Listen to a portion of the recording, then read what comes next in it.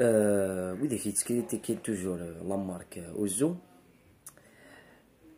Voilà, c'est que Ozo dévoilé de nouveaux maillots GSK. Tu sais, la coupe, euh, la CAF, même avec le championnat. Et personnellement, il est magnifique.